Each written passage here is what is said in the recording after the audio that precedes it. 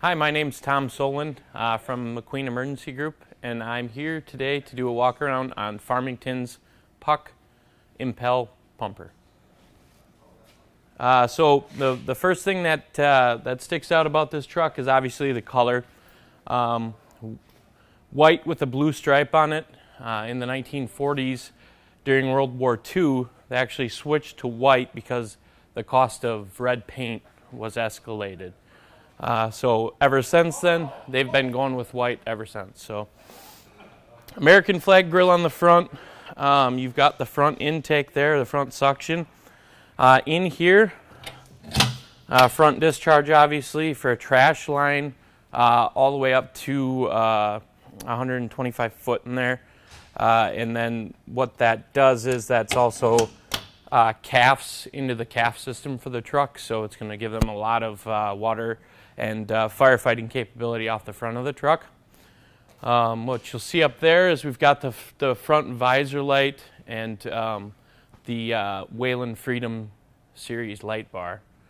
Uh, West Coast style mirrors as we go along the side. Uh, TAK-4 independent front suspension.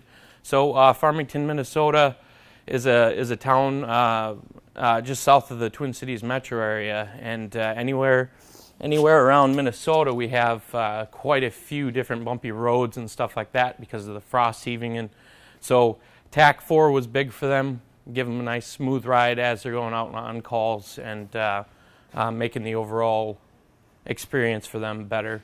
Um, moving on inside the cab here. Uh, so overall seating for the truck is six, um, which includes the the uh, four SCBA seats in the back, uh, SCBA seat in the front. They chose to go with the Impel because they wanted the additional space and elbow room inside of the cab to um, mount equipment and still comfortably uh, get dressed in it uh, with their turnout gear.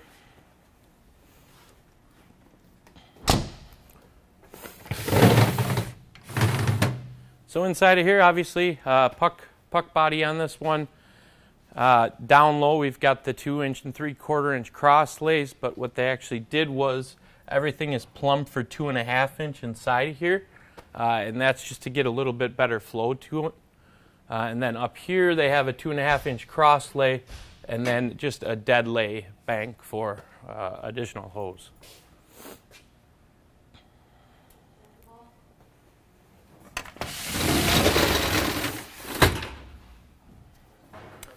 Uh, moving on, this truck has the uh, uh, obviously everything's color coordinated. Uh, they went with the Trident Air Prime uh, primer. Uh, it's got the Pierce Pump Boss pressure governor, and as well as a Husky three foam system and Hercules CAFS system. Um, Akron valves for the side and large diameter discharges, and then um, also a remote control Extend-A-Gun uh, for their for their deluge gun. So they chose to do cabinet uh, here for any of your appliances or adapters that you would have uh, to attach while working on the pump. Uh, one of the things that's kind of unique about this pump area for Minnesota is we we have to do things like this uh, rubber uh, around it. Uh, down below there's a there's a heat shield, and uh, there's also two diesel heaters that will heat this, this compartment area because of the fact that we have the cold. All the way up to the fact that there's a gauge heater in here that keeps all the gauges heated uh, during the wintertime. All right. In this compartment here, uh, they've got a slide out and fold down tray that can be accessed with just pulling of one, one cord. They intend to put some lighter stuff on that, um, bags and smaller stuff. In this compartment here, we've actually got a slide out tray. And on it, they have a poly tray that they're using for um, floor dry. So uh, Pierce made that for us custom, uh, custom size, so that we can take and, and put that on this truck. Uh, up here, these are uh, fully adjustable shelves with the with the bottom being a slide out. So.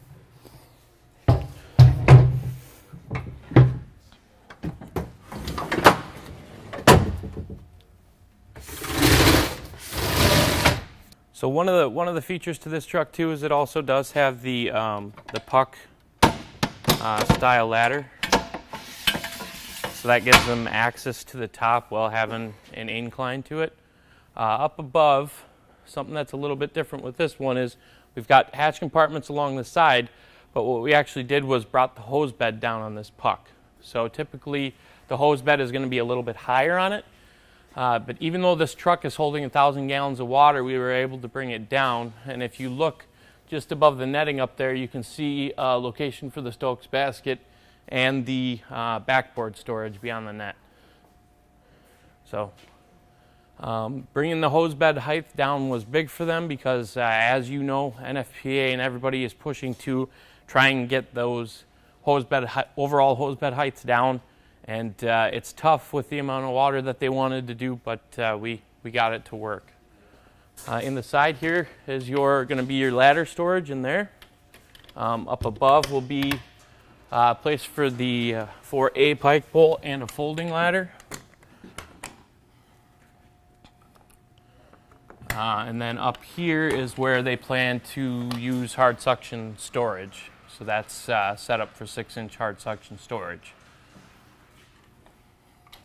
and that storage is available from the top or from the bottom uh, with the hatch compartment. So, right here on the back corner is a cone holder. Uh, so they actually have that set up so they can slide the slide the cones onto it, and then they're right there as they're on scene. They can be dropping cones off of the back of the truck. So.